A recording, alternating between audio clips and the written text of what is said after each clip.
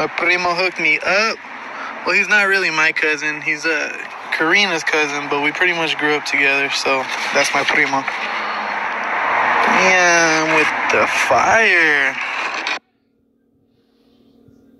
A lot of things change and some things don't. A lot of people fall off and some say they won't. That's right, that's right, that's right, that's right. But fuck up your life. Wanted to see if it's a lifestyle. I met my pimp, cause she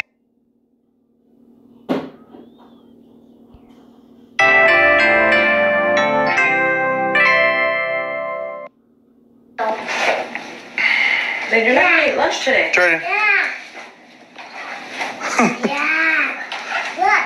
What do you mean what? You s- Se dice mande. Look, look. Who's there? Money. I love you guys. Have a